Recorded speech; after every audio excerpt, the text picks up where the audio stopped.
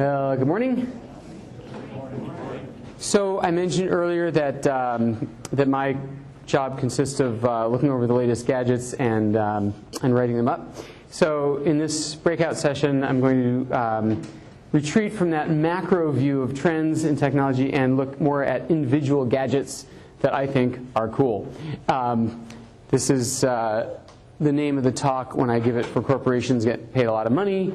Uh, for this one, it's going to be called Dave's Mobile Gadget Funhouse. Uh, so um, I find it crazy that we are still in an era where we have to hunt for an internet connection. Um, I think when, when we're 100, we're going to tell our grandchildren, when I was your age I wanted to check my email, I used to have to drive around town looking for a coffee shop. I did. Just think it's nuts. Oh, they had Wi-Fi hotspots. Yay, 150 feet across. They did. You know, it's like, dude, we build electrical outlets and running water and heating and cooling into every building in America. Where's the internet? Why isn't it just accepted and standard and universal and ubiquitous? I don't understand that. Um, so we're getting there. Um, for a couple years now, you've been able to buy these little USB or, or card slot cards that go into your laptop and give the laptop um, an internet connection that uses the cell phone airwaves as the internet connection. Um, bunch of problems with that. It's really expensive. 60 bucks, bucks a month. Um, not DLS, DSL speeds. Oops, sorry, typo there. Um, uh, the speed is, is okay, but only in a big city. If you're not in a big city, you don't get on the online or you get a really slow connection and requires the purchase of one of these. And every time you want to get online, you have to find it in your luggage and insert it and start it up. And of course, it does no good at all if you have some other gadget that isn't cellular um, or that has no place to stick this. So um, let me just see here. I am interestingly not getting uh, mirroring. That's why. Okay, there you go. You weren't supposed to see that.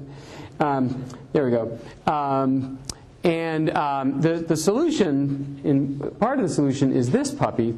This is called the MiFi, and it's sold by Sprint or Verizon. And basically, let me see if I can do this high-tech switcheroo here. Um, basically, um, it is a, um, well, in, in essence, it's a converter between cellular and Wi-Fi, but what it does is it gives you a personal, battery-powered, pocketable, portable hotspot. So this is Wi-Fi, and any of you can get on right now. You look in your menu bar, you'll see this. It'll have, say, Verizon something, right? You see it? And if I were to share the password with you, which is on the bottom, you could join me in hotspot goodness. Um, but of course, you have a much better one provided by this building, so you don't need that. But imagine if you were stuck on a plane or in a car driving with the kids. Um, it's so amazing to have a Wi Fi bubble that's with you wherever you go. Um, truly cool. And um, especially, by the way, if you have an iPod uh, Touch, if you think about it, an iPod Touch plus a MiFi is a cell phone. Suddenly, the iPod Touch can make regular calls uh, wherever you go, and or an iPod or an iPad, which is not normally a telephone. Now it's a telephone. Um, so really, totally cool. I was on a, a plane, stuck on the tarmac for three hours at one point. And um, so I opened up my laptop and I was working away, and I noticed the guy next to me was kind of like you know, I kind of wish I had one of those 3M screen polarizers because the guy was like clearly like trying to see my screen. And finally, I realized he wasn't looking at what I was writing. He was look, he was obsessed with the fact that I had a four-bar Wi-Fi hotspot on my menu bar, and we were like way out on the runway. And he's like, "I'm sorry, but how are you doing that?" he like could not figure it out. It was because I had this in my in my bag. I, I, don't even take it out of the bag. It runs four or five hours on a charge, and you just leave it in there. Leave it in your purse. Leave it in your bag. Uh, you've got a hotspot wherever you go. Totally, totally amazing. Um, now, the company that makes it, Novatel, is adding these really ingenious apps. Yes, everything has to have apps now. They're adding apps to the MiFi. Um, and for example, one of them is you guys are geeks like me, so you know about VPN, virtual private networking. You know that if you want to connect in to the school network or a corporate network, sorry, you need to use this proprietary uh, protected tunnel, secure tunnel through the internet so that you can't be hacked or secrets can't be sapped away from your connection. So it's a big, it's a hassle to get on VPN, right? You have to, on your laptop, you have to open up a VPN gateway app. You have to put in your name, your password, click connect, and so on. Before, you can use your email or your web browser. So what they've done is they have an app for the MiFi that has its own VPN software and it stores your name and password and all that. So the bottom line is as soon as you turn it on, it auto connects to the network, makes the VPN tunnel um, automatically. So all you have to do is open your laptop or your iPod or your iPhone or whatever and pretend like you're not on a VPN at all. You're instantly connected. Really ingenious. Um, here's another cool thing they've done. They, um, they have built a webmail app into the, into the MiFi.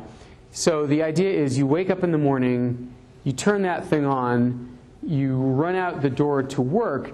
It's quietly downloading your email from the internet without your laptop being on yet. And you get on the plane and you go on your flight. Now you have time to settle down and get some work done. Only then you open your laptop, it retrieves the stored email that you've, that's waiting for you from the MiFi. So you don't have an internet connection anymore, but you don't care because all the MiFi downloaded the email and it's been holding it for you um, so that you can grab it on the laptop. Very cool idea. Um, and um, it also lets you view the email on any any gadget with a with a browser like this or whatever. It doesn't have to be uh, an actual laptop. Um, and the other advantage of, of, something like this is that um, there are lots of other things besides laptops that use Wi-Fi these days. So there are digital cameras. There are. do you know about this Eye-Fi card? This thing's totally cool. It's a, it's a memory card, you know, this big, regular two or four gig memory card for your camera that adds Wi-Fi to any camera. So any camera now has Wi-Fi such that um, you sign up in advance and tell, tell it what you want done with your pictures. And you have two choices. You can have them sent to your computer at home over Wi Fi, or you can have them posted to any of 25 different photo gallery websites like Flickr or Shutterfly or Photo Gallery.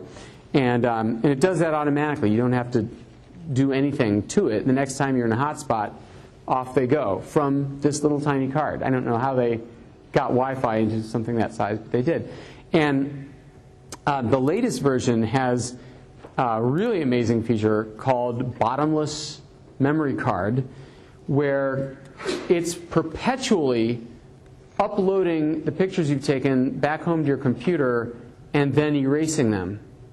So the card never fills. It never fills up. You can shoot perpetually and never run out of space. It's such a crazy idea. And also, you know, for years the Eye-Fi card has always uploaded everything. Um, well, well, all the JPEGs. It didn't upload movies and it didn't upload RAW files. And of course, it's because every camera is different. It can't have buttons or menus because it's just a card. It can't put up a custom display for each model of camera. But somehow, the model that came out last month now uploads movies and RAW files and lets you choose which ones to upload. I can't quite figure out how they've done that, but I haven't. I just read the press release. I haven't tried that one out. But anyway, so and then um, you know the lower right is a, is a Wi-Fi picture frame. Um, the digital picture frames. did, did you guys ever hear of this thing called the Ceiva frame?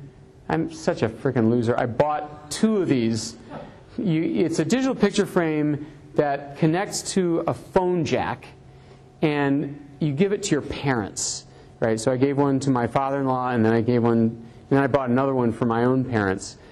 gave the one to my father-in-law. Now from home, I can upload pictures to it. So this technophobe who doesn't know how to turn on anything can wake up each morning and find fresh pictures from me. Um, great idea, but it's a hundred bucks a year, and if you stop paying, the frame is worthless. It does nothing. Can't load pictures onto it any other way. And so, like after two years of this, I'm like, what have I done? I'm locked into this piece of crap forever. And so, meanwhile, I'm like holding this other one that I had for my mom, and I'm like, you know, I'd actually come out ahead if I just threw it away right now. and so it's, it's sitting in my office. I never used it. And now, of course, you can do the same thing for free with any Wi Fi picture frame. I can, I can send those to my mother the same way. And so I feel like a total schmuck for falling for that Ceiva frame twice. Um, anyway, um, and then of course e-readers. Uh, actually, the, the e-readers. The uh, this is the that's the Kindle, and this is the Sony Daily Edition. They get online via um, cellular connection, and the idea there is, and it's free. This is really interesting. What other cellular gadget do you have that's free to use the cellular? It's amazing. Um, and the idea is that they, these these book companies have Amazon and Sony have struck up deals with Sprint or AT&T to provide that free uh, cellular so that you can be like at a party and someone says, "Oh, have you read Freakonomics?" and you're like, "Well, no, but I will now." Ah, you know, and you get it in 30 seconds. You download it over the airwaves straight to your to your reader. Um, it's really quite quite brilliant and quite addicting. You lower the barriers low enough to buying stuff, and people will buy stuff. It's uh, pretty amazing. Um, Speaking of cellular plans, this is really incredible. Um, Steve Jobs, in his reality distortion field, persuaded AT&T to offer the following deal for the iPad. There's a, a version. This one has Wi-Fi, but there's also a version that has Wi-Fi and cellular, just like the iPhone. And the deal is, you can pay when you need to get online. You can pay fifteen dollars uh, one time, and that will get you 250 megabytes of downloaded data, or $30 for unlimited data for a whole month. And the amazing thing is, it's a one shot. You, you, you do it right on here. You, you, don't have to call anyone or go to a web page. There's a, it's in preferences. You just say buy the $15 or buy the $30. And you just get it for that month. You can, then you can say cancel, like right away You've still got it for the next month or for the next 250 megs, but it won't be renewed. So there's no contract, there's no two year commitment, there's no overage charges, there's no penalties. It's, it's just like amazing. And uh, it's so consumer friendly, I don't know what went wrong. I, I, can imagine all the other cell phone companies like, What? AT&T, you idiot! What are you doing? We had it made, man! You know, we got everybody used to a two-year commitment. You've blown it! You know, now, now everybody's going to sort of expect that that's, that's what we can do. We can buy data when we need it and not pay for it the months we're not traveling. It's like phenomenal. Um, I spoke earlier about um, the miracle of apps, these incredibly cheap, incredibly various creative little apps for app phones and now these tablets. Um, one of the coolest categories I didn't get into this morning is augmented reality apps. And what these are, they combine all the sensors in neat ways. So this one's called Nearest Tube. It's for the London subway system. You hold the thing and look at the ground, and it superimposes what subway is beneath your feet. And if you hold it up like this, it tells you which subway stops you'll find if you walk in that direction. Totally cool. This is another augmented reality app. It, you hold it up to the air, and it shows you who's on Twitter in that direction and what they're saying. So you can look at a building and see who's in there. This one's called TAT, and I think it's just a prototype at this point, but it recognizes who it is and then displays their contact information and what social networks they're on right there so you can connect to them later. and oops, I thought I had one more. Well, here's, here's another one. This one, and these are in the App Store right now. So they're using all the sensors of the phone to superimpose real data on top of the video camera image. So it's kind of like it helps. It's like your eyes with added data, like a heads-up display. Um, this is another real one. I'm colorblind, and I've always wished I had something like this. I go to my closet, I hold it up to a piece of clothing, and it tells me what color that clothing is. I think that's totally cool. Um, this one I made up, but um,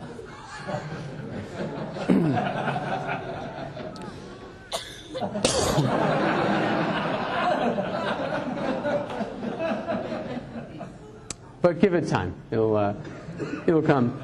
Um, this morning I, I, talked about appless apps, um, cell phone apps that connect to the internet, don't require a fancy phone, like the Google Info and ChaCha. Um, but I didn't get to Aardvark. This is one of the coolest things. So the world is filled with interesting ways to get answers to questions quickly using the internet. You could ask people on Twitter, but that's a very unfocused sort of. If you have a lot, it needs a lot of followers to get a good answer, and meanwhile you're asking everybody at once. Um, it's not a very targeted query. And then there's these cha-cha and these Google and Google things, but that requires uh, a cell phone, and it's just and that's good only for facts and not for opinion. So I need to buy a good drum set for my 10-year-old. You know, what's a good book series to take on vacation? You're not going to get that from cha-cha or a Google search, for example. So there's this third thing, category thing called aardvark,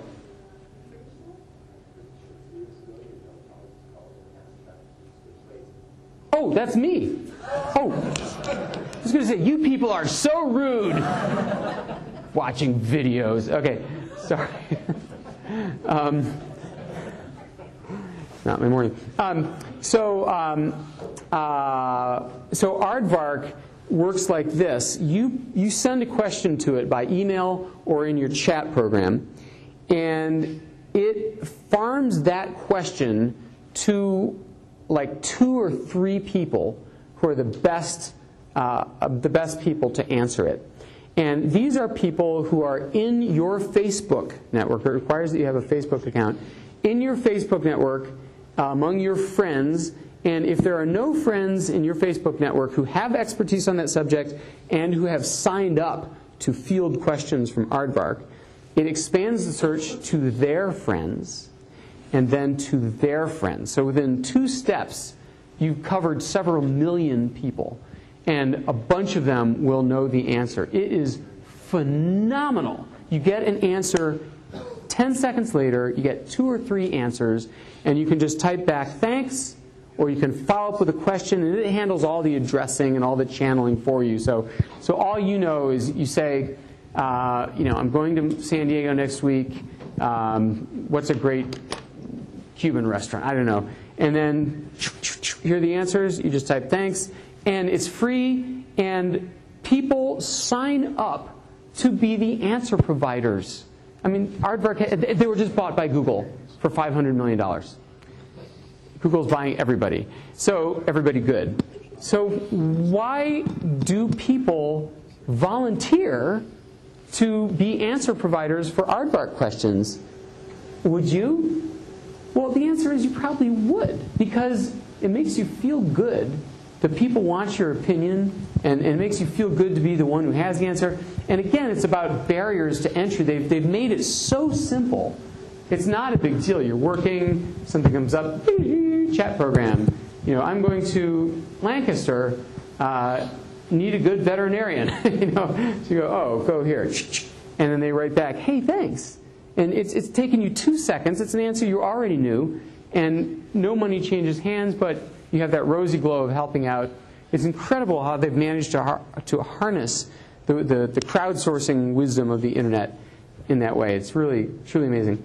Um, another thing I'm loving lately is uh, the new era of gymnastic phones. Um, I don't know if, uh, if you've seen this. This is the backflip. But right now, cell phones have quite a design challenge, right? You need a keyboard, you need a screen, and you want each to be as big as possible. So this is kind of a one approach. You get half a screen. and you get a little tiny keyboard that's the wrong way, right? It's narrow. What you want is a keyboard that goes this way because the keys can be much wider. And so there's all kinds of, you know, you have the ones that have a keyboard that slides out like this. You have ones that open like a book, and the screen's up here, and the keyboard's here. But all of those are in their own way sort of limiting. Um, so what I like is, um, oops, wait. Uh, this is really cool. So this is the Motorola Backflip. And what they've done is, let me see if I can explain this to you. So this, the keyboard is on the back. And when you're using it as a phone, the, the, the lights turn off and you don't see any of these, these labels. And you have just a touchscreen phone, full-size touchscreen. And the back just feels sort of textured. You don't see the keyboard. But when you need the keyboard, it opens up, it flips like. See, see how the keyboard's on the back? And it flips up like this. Now you have a full keyboard laid out the way you want it, and you have a full touchscreen at the same time. But what's really interesting is now you have all this dead space on the back. And what's so clever is they decided to use that. This is a touchpad. So you're sitting here, you're holding the thing like this, and you're moving the cursor back here. No one's ever thought of that, and it works perfectly. You're highlighting icons. Why not go from behind the icons? It's, it's, it's, a, it's a touch. It's, you can scroll and, and move around like that. And it's, it's even clever. I actually brought one, but like a schmuck, I left it plugged in in the hotel room. It's charging, so it would work when I showed you. Um, um, what you can do is, um, is, if you put it on a level surface and open it only 90 degrees, it says, oh, I see what you're doing. You are plugging, oh, and, and you plug it in. You're recharging me. What do most, what do you usually do with your phone when you come home and you plug it in? What's the, what good is the phone doing you right now? Nothing. It's just sitting there charging. These guys thought, well, it's still a phone, it's still a computer, it's still got a screen. Let's have it do something useful. So you go like this, and it immediately turns into an alarm clock. The world's best, great big digits with little. Here, I'll show you because the Droid does the same thing. Um, wait, maybe there's a. Is there a picture of it? Um, um, no, of course not. Um, well, you get the same effect with the um, with the Droid phone. Um, and I did a, I do these these videos. Wait, hold on, hold on, hold on. Stop, stop, stop, stop. Um, yeah, please feel free to read all my email. Um, here, let's pause this. That's playing for a reason, um, which we'll get to in a second. Okay, so I do these videos every week for CNBC, and th this one was an end of the year thing called the Pogie Awards, and this is the part about the droid. Good evening, and welcome to the fifth annual Pogie Awards. As you know, the Pogie Awards are designed to celebrate innovation in technology, not just to the best products, but to the best ideas in products. And these days, with global warming, wars, and a wobbly economy, it's nice to have something to celebrate. All right, then. Our first category, the Buy It Once, Use It Anywhere category, goes to the Motorola Droid Accessory Docks.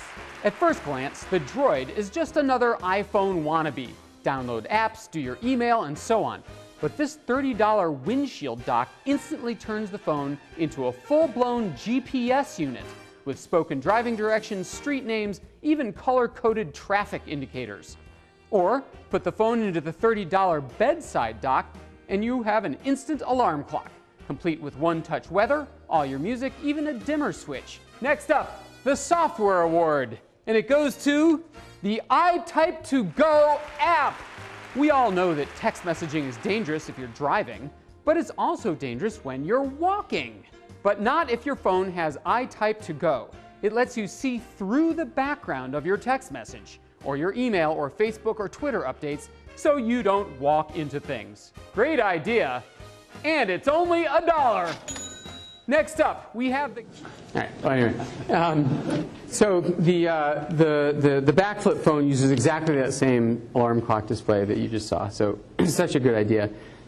you really, for my job, it's the ideas that get me fired up. I just, I love when someone thinks of something like that that no one's ever thought of before. Um, so yeah, that, and that's the that's the Droid. That was the first really decent iPhone competitor. They managed to, you know, Apple always said the reason we don't have a real keyboard is because it would make the thing too thick. Um, well, guess what? The Motorola Droid is the same thickness as an iPhone, and they have a slide-out keyboard. So, um, the uh, what's so weird is that Steve Jobs is so obsessed with thinness but you know how the, the new iPhone coming out in June was found, was left in a bar by a drunk Apple employee on his birthday? Um, it's not uh, it's not sleek anymore. It's a it's a it's like squared off. It's thick. It's uh, I'm I'm really surprised that that Apple would go to less sleek and less sculpted. But the battery lasts much longer. I'm sure that's why they did it. Um, do you guys know who Jeff Hawkins is? Jeff Hawkins invented the Palm Pilot. He founded Palm Computing. And you may remember the first Palm Pilot was a brick. I mean, it had sharp edges. It was a, it was a rectangular cube. And um, it was, you know, squared off like this. And the reason is Jeff Hawkins said that rounded edges waste space because your circuit board cannot occupy a curved edge. The circuit board can only be rectangular and it can only go, or your battery or whatever component, it can't curve. So all of the curved edges are wasted empty air. There's nothing in the curved edges um, because everything has to be rectangular. Um, so maybe that's why. So a few interesting things going on in communication.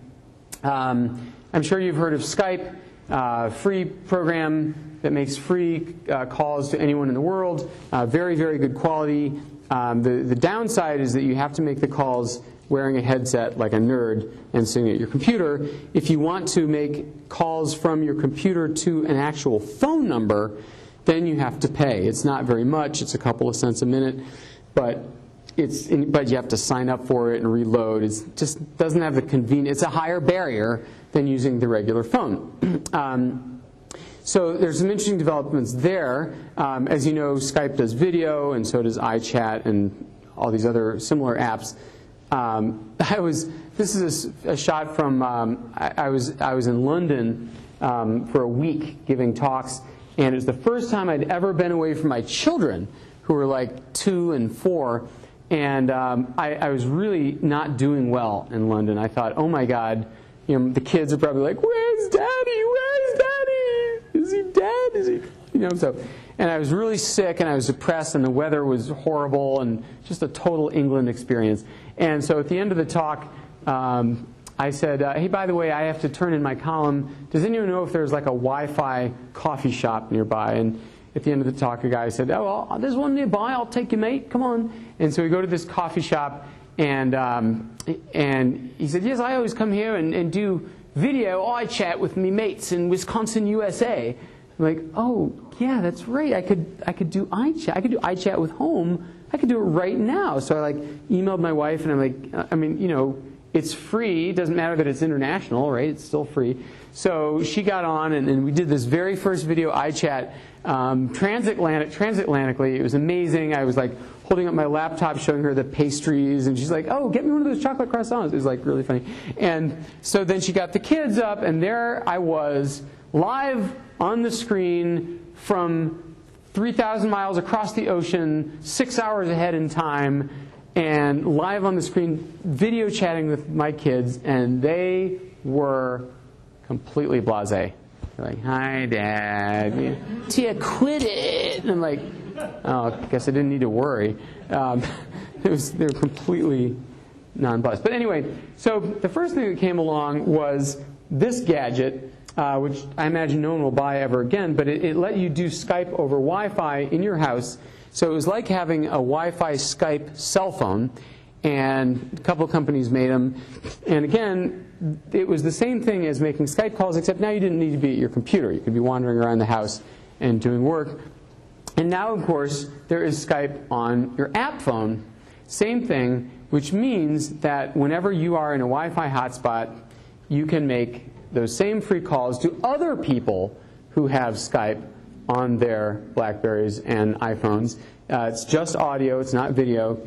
Um, but it's free calls.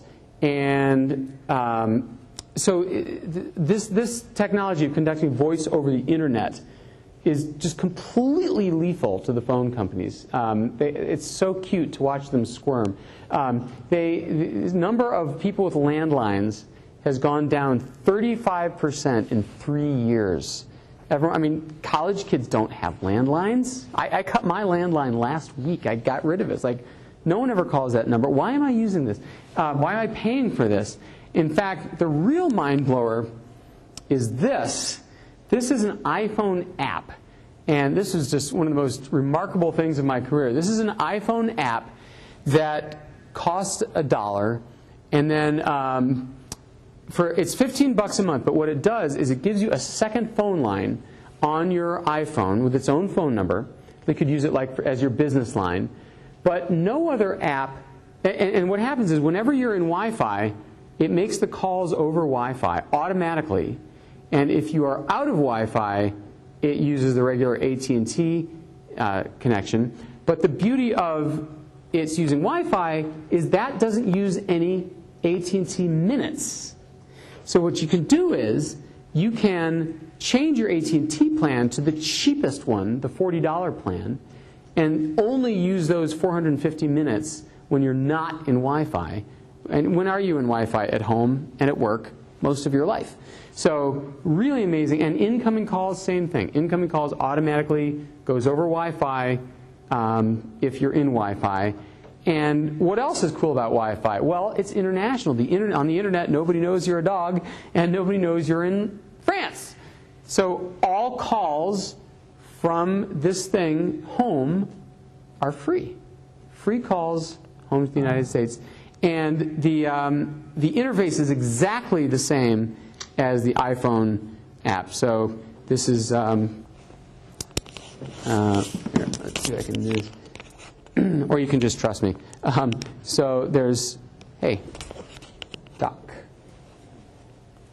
So yeah, so there's uh, favorites and missed calls and your address book and the dialer pad and visual voicemail. It looks exactly like the iPhones.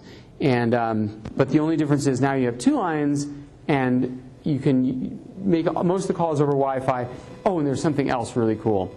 If you and the other guy both have line 2 and you're both in Wi-Fi, the calls you make, oh, and it's not like Skype where you're dialing a handle, you know, ferret lover 23. These are, right, bad example. Um, these are real phone numbers. It's a real phone app. You're dialing phone numbers and getting phone calls. Everyone's like, well, Skype's done that for years. No, it's totally different. It is a real phone.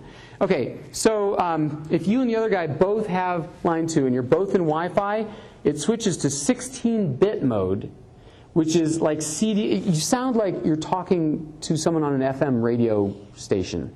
I mean, the sound quality is incredible.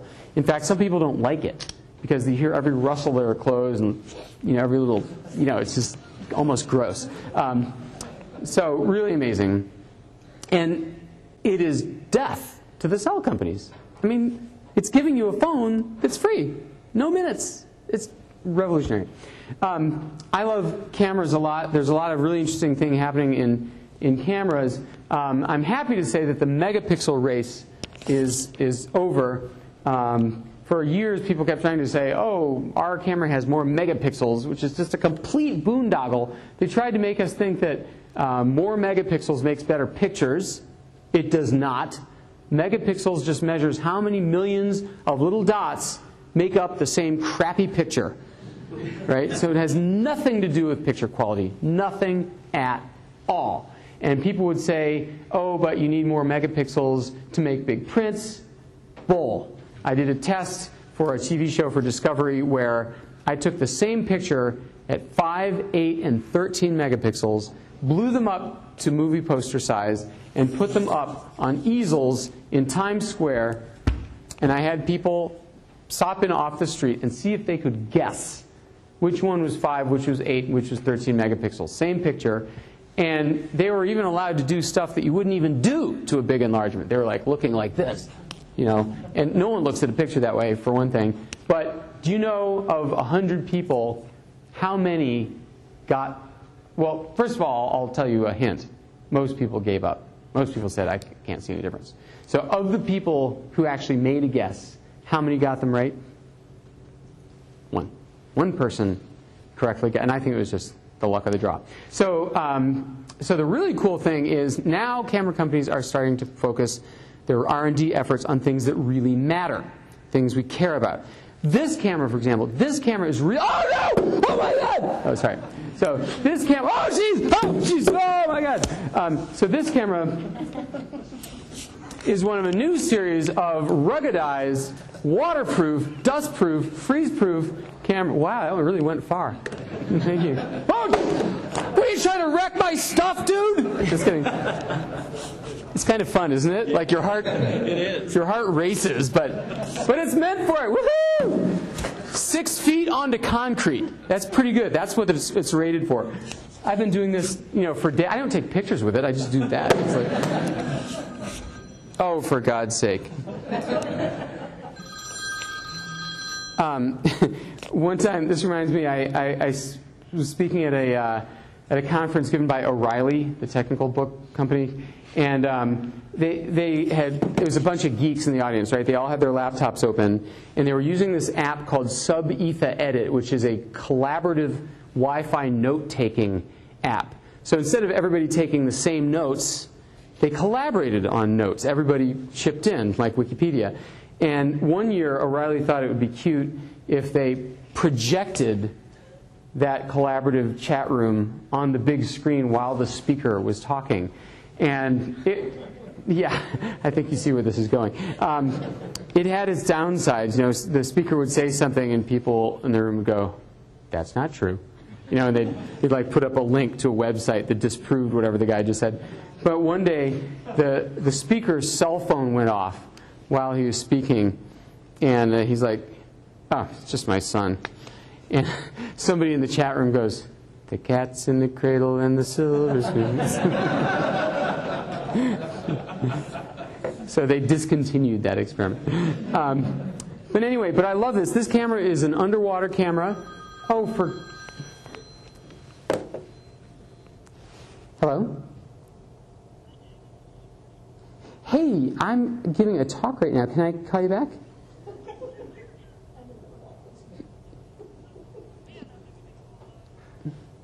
Yep.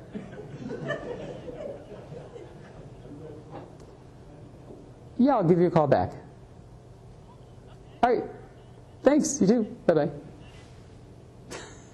what part of I'm giving a talk didn't you understand? Um, so, anyway, so I love the fact that they're making these cameras tougher and waterproof and dustproof and freeze-proof. Um, but the, the more important thing that they're doing is they're focusing on making them take better pictures, which you could argue is a good feature to have in a camera. Um, the difference between pocket cameras and SLRs is, well, first of all, you can tell right away when a picture was taken by an SLR. I mean, they're much better in low light. They have this amazing, uh, so this, you know, no flash pictures. You never pull that off with a camera like this. That requires an SLR, one of the big black ones. Um, they have amazing control over depth of field, which is that photographic effect where the subject is sharp but the background is blurry. Or in this case, the background and the foreground are blurry, and only the subject in the middle ground is in focus. So, what's the difference between what makes these differences? Well, the lenses, of course, um, but the primary difference in quality it depends on the size of the sensor in the camera. These cameras have tiny sensors, not even that big. That's the G3, that's a mid range sensor. The ones in here are about half the size of your pinky fingernail, about half of that size. They're tiny. They can't absorb much light at all, so they're terrible in low light, so you get blur or grain in a lot of your, your pictures. Um, a digital Rebel has a sensor this size. Um, the, the more the nicer cameras like the Nikon D90 have a sensor this size, and the $5,000 professional cameras are full frame, same size as a piece of film. They're giant. The, the, the cameras today, the full frame cameras today, are more light sensitive than we are. You can take a picture in a room and see more stuff clearly in the picture than your eye could even pick out. It's amazing what they're doing. but what I would like, I think what most of the world would like, is a camera like this with a chip like this. Wouldn't that be cool? That is what the world wants. And the camera companies are finally starting to pay attention. So in the last year, we saw this amazing development. Um, uh, Panasonic and um, Olympus got together and developed a new line of cameras where they they took out the SLR part of an SLR. That is, normally the light comes in the lens, it goes into this mirror box, and bounces. Uh, it's, there's a, a 45 degree half mirror that sends the light into the sensor, but also bounces it through a bunch of prisms into your eye. So you hold it up to your eye, you're actually looking out through the lens through these prisms. And they got rid of all that. The light comes straight into the sensor, and that sends an electronic image to the viewfinder, like a little tiny TV screen in there. Um, and by getting rid of the mirror box, they could collapse the whole camera design and make them much smaller. Now that's and, and, and still use the same size chip sensor that's in the big one. So it might not look like that huge an improvement, but they've continued to make those smaller and smaller. Um, so here are the latest ones. So so this is a micro four thirds camera that's come out since then, it's, it looks like, you know, it's about this big. It's not, it's not this small, but it's not an SLR either. And they take uh, really, really beautiful pictures in a revolutionarily small size, and they still have interchangeable lenses, so wide angle, super zoom, whatever you want. Um, the other really exciting thing is that some companies are approaching the problem from the other end. This, instead of taking an SLR and trying to making it smaller, they're taking a pocket camera and trying to make the chip inside the sensor inside bigger. This is the Canon S90. It looks like a regular pocket camera. It's not. The chip in there, it's not as big as an SLR or even a Micro Four Thirds, but it's, it's maybe as big as your whole thumbnail. It's much, much bigger. So in low light, I mean, I can go like this and get these incredible pictures with no flash, totally handheld, and um, and people are just over this. And Samsung has one coming out that's the same idea. This number here is a measurement of how much light gets through the lens to the sensor. And normally they're like on pocket cameras, it's 4 point something, which is pretty lousy. 2.0 and 1.8 are remarkable for a tiny camera, never been done before. And um, so we're finally getting there where we can have cameras that, little cameras that take really good pictures. So um, Another broad category of, of developing, developing stuff is, uh, is entertainment. I don't know if you know about this thing, the Slingbox. Um, it's a box you connect to your, um, to your TV at home, and then from anywhere, from your iPhone, from your Blackberry, from your laptop, you can watch your TV from home. So you're already paying for cable TV service why should it be rooted to your couch? Why should it be viewable only there? The concept here is this thing takes whatever you've got TiVo, DVD player, your cable box, up to three sources, and blasts it over the internet to wherever you are so you can watch that stuff on your iPhone, your Blackberry, or your laptop. So it's really, and, and there's no fee. You just buy the box, which is really cool. So you can sit in some hotel room where you have a choice. You can watch a pay-per-view movie for you know $35, um, or you can watch movies that you've got at home on your TiVo or on HBO at home um, over the internet, and the quality is remarkably good and uh, really cool idea. Um, and this is also this is another really really totally amazing thing. Um, you know about Netflix, right? You pay nine dollars a month or whatever, and they mail you DVDs. You, you go to the website, you build this list of movies you'd like to see, and as soon as you mail one back in the prepaid envelope, they ship out the next one in your list. But the problem is that with that is you have to wait a day. You know, and that's ridiculous. Wait a whole day for a movie. So, um, so now they have this thing called Watch Now, And basically, what that does, oops, this is it. They have 15,000 movies available to watch immediately.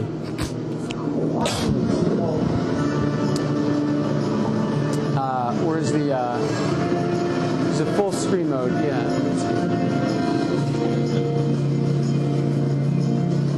This is the proposal, that Sandra Bullock movie, and She told me you were poor. I never said I was poor. She never told me you were rich. I'm not rich. Uh, That's rich. So- That's something only rich people say.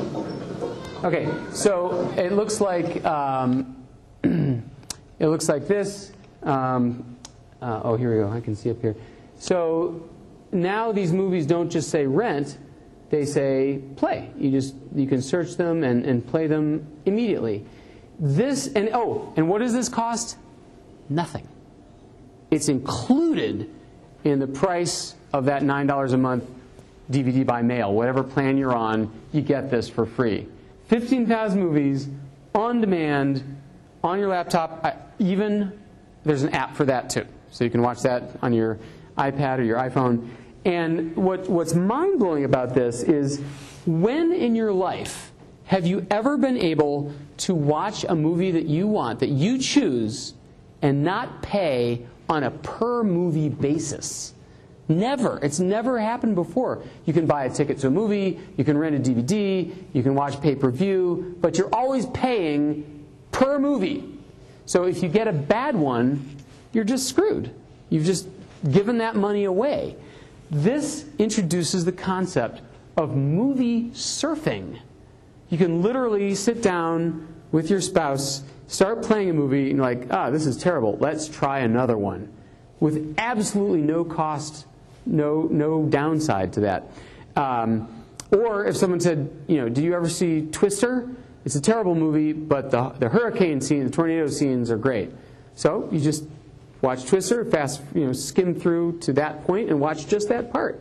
Or, you know, did you ever see the end of The Sixth Sense? you know, it's quite a shock there. Okay, so just watch that part. Um, so I said there's no downside. There actually is a downside, and that is, if you know anything about psychology, this this makes movies somehow less special. There's no cost. There's no barrier. There's no there's no stakes in picking a bad movie, right, or picking a good movie.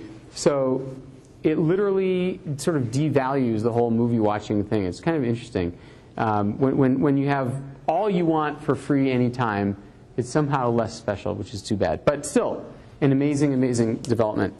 Um, um, there we go. And um, also, this is pretty cool. Oh, the problem with the Netflix thing, by the way, is that um, most of the movies are pretty old. There are no like new on DVD movies there. Uh, the huge majority of them are from the 80s and the 90s. Um, and that's obviously because of the movie studios saying, no, no, no, Netflix, we're still making money from this. You can't put it up there for instant free watching. Um, Vudu, on the other hand, specializes in new movies streamed over the internet in the same way. Um, the, you pay per movie, four bucks, and um, uh, but there's no waiting and there's no coming by mail, and the quality is phenomenal. They have uh, standard definition, high definition, and then something almost toward Blu-ray called HDX, which is an even higher than high definition thing that looks really phenomenal. And um, so for, for several years, they sold this as a set-top box, and you'd buy the Vudu box. And what's great is there's no monthly fee, right? It's just you pay every time you want to watch a movie. If you get busy for a few months, no harm done. You're not paying anything. Um, and no one was buying the box because the pub- public hates set-top boxes. Um, so finally, just a couple months ago, they announced that they were discontinuing the box, but instead they were building in the service into TVs and Blu-ray players from all these companies. So now you get the Blu-ray player and it has Vudu built in. And it works the same way, except there's no box, there's no additional remote. Uh, the quality is still spectacular. The movies come out the same day as the DVD. So you get the movie instantly um, when it's released. And even more interestingly, um, last month Walmart bought Vudu. Walmart. So um, I don't know if that means we'll have like 39 cent movies, um, but it, it does mean that the company will, will survive and thrive, and I'm, I'm a huge Vudu nut. Um, everyone's saying, oh, the, these app phones are so cool with the multi-touch screens. Um, when is that going to come to my laptop?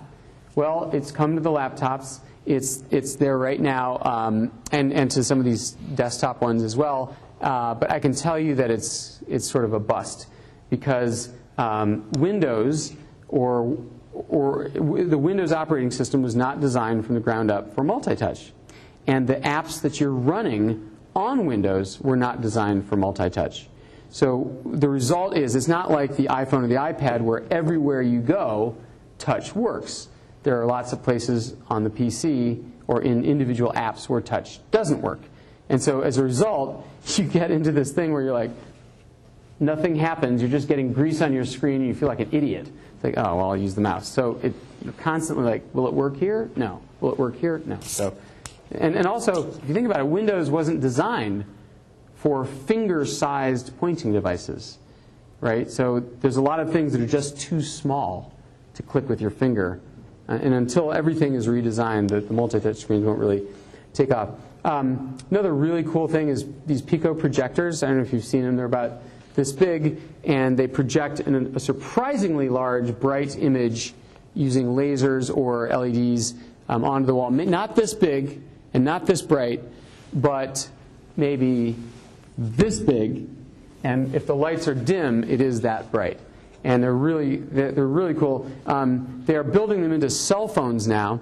Um, which is also really cool if you want to give an instant, know, oh, I'm in the elevator with the boss. Hey, boss, I've got a pitch to make for you, you know. And um, um, those are really, really cool. Uh, I was on a plane once in the early days when no one even knew this product category existed, and uh, we were playing, connecting my iPod to it, and we were watching a movie on the airplane ceiling with my kids, and like this, like this big, and it was great to watch the movie up there, but what was even greater is the reactions of all the people around us who were like, what is that?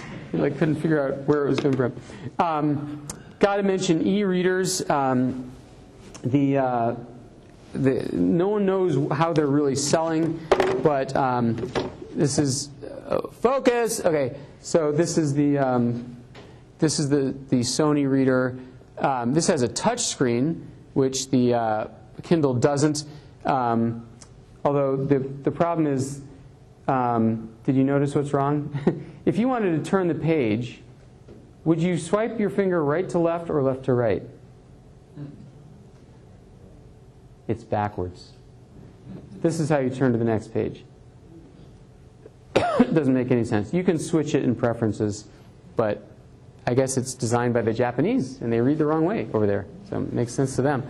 Um, but of course, the beauty of e-readers is this is this is e-ink. It looks very much like ink on paper, although it's a gray background, and you cannot read without um, without uh, light. Um, as opposed to this puppy, I showed you this thing's e-reader, which has illumination. You can read it in any light.